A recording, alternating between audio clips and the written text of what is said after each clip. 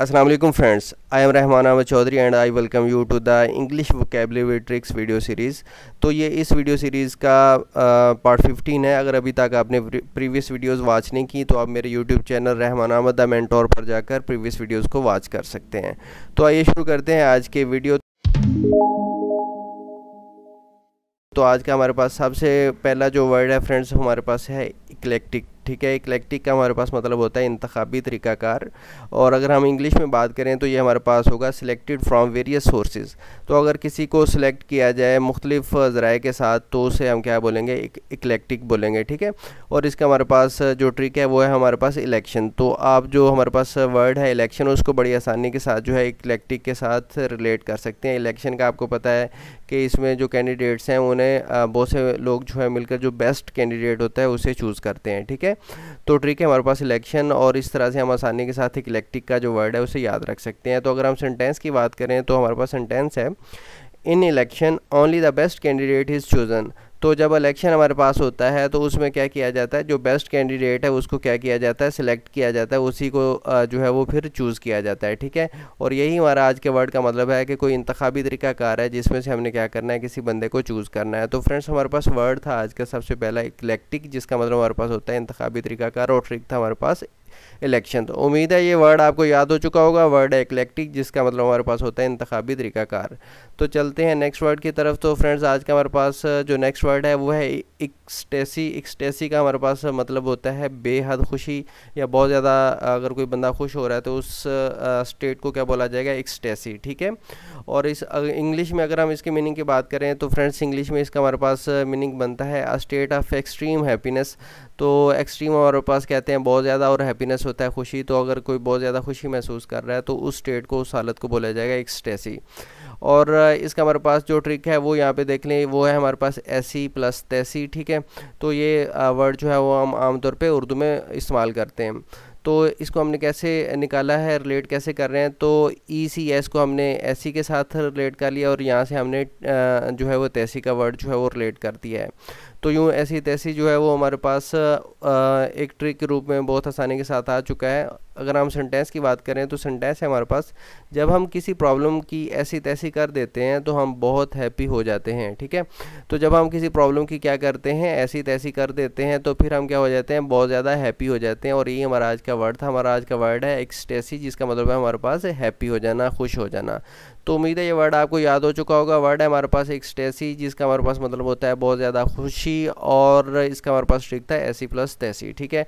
तो चलते हैं नेक्स्ट वर्ड की तरफ़। तो फ्रेंड्स हमारे पास आज का नेक्स्ट वर्ड है इडिक्ट तो इडिक्ट का हमारे पास मतलब होता है फरमान या शाही फरमान या फतवा, इसको हम क्या कहते हैं? इडिक्ट कहते हैं, ठीक है? और अगर हम इसमें इंग्लिश में इसकी मीनिंग की बात करें तो ये हमारे पास ऑफिशियल कमांड आर आर्डर ठीक है? तो जो कोई एक ऑर्डर दिया जाता है, कोई कमांड दी जाती है, हुक्मनामा जो जारी किया जाता है ऑफिशियली तो उसको हम क्या बोलते हैं? इडिक्ट बोलते हैं। और इसका हमारे पास अगर हम बात करें यहाँ पे इसके ट्रिक की तो ये है हमारे पास एडिक्ट ठीक है? जिसका मतलब हमारे पास होता है आदि, और ये दोनों लफ्ज़ जो हैं, वो मिलते जुलते हैं, यूँ हम इनको बड़ी आसानी के साथ एक दूसरे से रिलेट कर सकते हैं। अगर हम यहाँ पे सेंटेंस की बात करें तो सेंटेंस हमारे पास वी है become addicted to the commands of prime minister Imran Khan तो हम क्या हो चुके हैं एडिक्टेड हो चुके हैं आदि हो चुके हैं प्राइम मिनिस्टर इमरान खान जो हैं उनकी कमांड्स का ठीक है? तो उनकी जो फरमान है या हमारे पास ऑर्डर्स होते हैं जो आ, वो बीइंग का प्राइम मिनिस्टर जारी करते हैं तो हम उनके क्या हो चुके हैं आदि हो चुके हैं ठीक है? तो यहाँ से आपने ये हरकत मतलब नहीं लेना कि मेरा तलब जो है वो पीटीआई से है। तो ये जस्ट आपको याद करवाने के लिए मैंने ये सेंटेंस बनाया है। तो उम्मीद है ये वर्ड आपको याद हो चुका होगा। वर्ड है हमारे पास एडिक्ट जिसका मतलब हमारे पास होता है फरमान और इसका हमारे पास ट्रिक है एडिक्ट तो उम्मीद है ये वर्ड याद हो चुका होगा। चलते हैं नेक्स्ट वर्ड की तरफ़। तो फ्रेंड्स, आज का हमारे पास नेक्स्ट वर्ड है, यहाँ पे एडिफाई एडिफाई का मतलब होता है इखलाकी असलाह करना, ठीक है? और अगर इंग्लिश में इसके मीनिंग की बात करें तो ये हमारे पास टू एजुकेट मॉरली और स्पिरिचुअली तो अगर आप एजुकेट करते हैं, किसी को तालीम देते हैं मॉरली मतलब इखलाकी तौर पर और स्पिरिचुअली या रूहानी तौर पर तो इसको बोला जाएगा एडिफाई और इसका हमारे पास यहाँ पे जो ट्रिक है, वो है एडिट ठीक है? तो एडिट करना का मतलब क्या होता है? एडिट करने का मतलब भी होता है किसी चीज़ की दुरुस्तगी करना ठीक है? तो आ, हमारे पास ये ट्रिक जो है वो कहाँ से आया? तो एडिफाई जो है उसको हमने ई डी आई जो है उसको बड़ी आसानी के साथ एडिट के साथ जो है वो रिलेट कर लिया। सेंटेंस की बात करते हैं तो सेंटेंस है हमारे पास censor board order to edit immoral parts of film तो एक सेंसर बोर्ड जो होता है, जो कि कोई भी मूवी जो है, वो जब पाकिस्तान में जो है, वो पब्लिश होनी होती है ऑनर होनी होती है, या आवाम के लिए सिनेमाज हाउस वगैरह जो हैं, उनमें जो है, वो भेजनी होती है तो उससे पहले सेंसर बोर्ड जो है, उसको चेक करता है, ताकि उसमें जो गैर अखलाकी कुछ पार्ट्स हैं तो उनको निकाला जा सके, ठीक है? तो सेंसर बोर्ड जो है उसने आर्डर दिया कि फ़िल्म है उसमें जो इमोरल पार्ट्स हैं, जो गैर अखलाकी उसमें जो हिस्से हैं, उनको एडिफाई किया जाए, उनको निकाला जाए, उनको एडिट किया जाए। तो उम्मीद है ये वर्ड आपको समझ में आ चुका होगा। वर्ड है एडिफाई करना, जिसका मतलब है अखलाकी असलाह करना और इसका हमारे पास ट्रिक है एडिट तो चलते हैं फ्रेंड्स नेक्स्ट वर्ड की तरफ़। तो आज का नेक्स्ट वर्ड है हमारे पास एरी एरी का मतलब फ्रेंड्स हमारे पास होता है खौफनाक या ड्रोना ठीक है? तो अगर इंग्लिश में हम इसके मीनिंग की बात करें तो ये हमारे पास वियर्ड वियर्ड कहते हैं, हमारे पास अजीबो गरीब चीज़ को, ठीक है?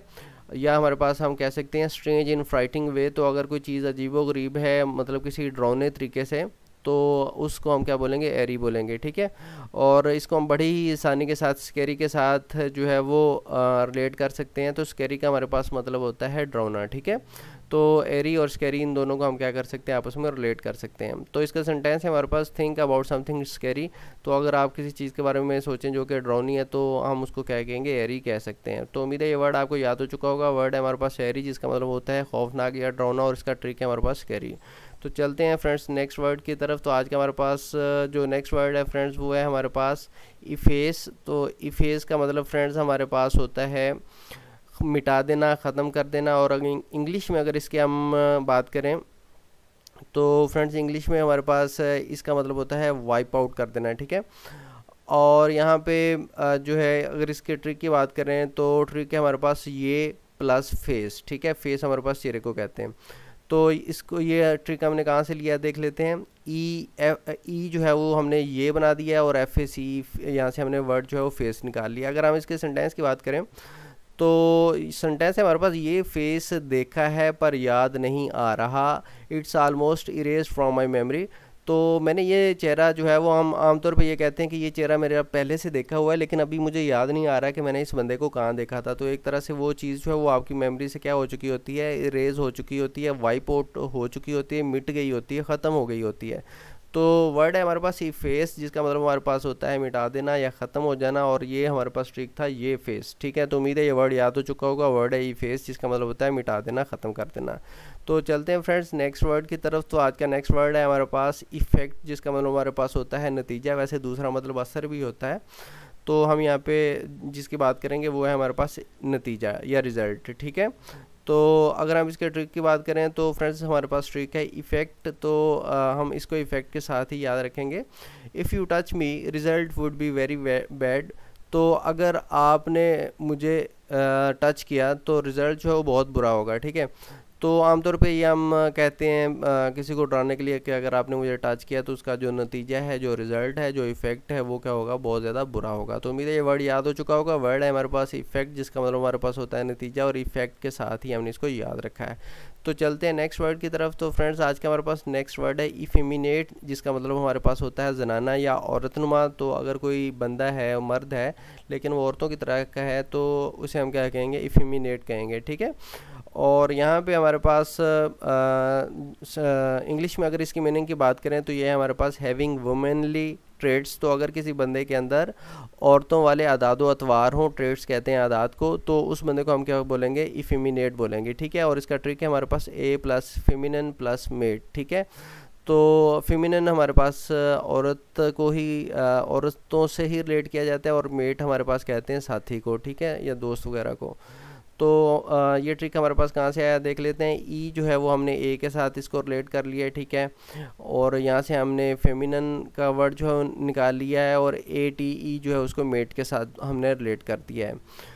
यूँ हम हम अपने ट्रिक को और वर्ड को बहुत आसानी के साथ एक दूसरे से रिलेट करके आ, याद रख सकते हैं। अगर सेंटेंस की बात करें तो सेंटेंस हमारे पास think of a friend who acts as a feminine तो आप किसी दोस्त के बारे में सोच सकते हैं आ, जो कि औरतों की तरह की जिसकी आदतें हैं या औरतों की तरह वो उसके आदाद अतवार हैं, वो चलता फिरता है, ठीक है? तो वर्ड है हमारे पास इफिमिनेट जिसका मतलब हमारे पास होता है जनाना या औरतनुमा।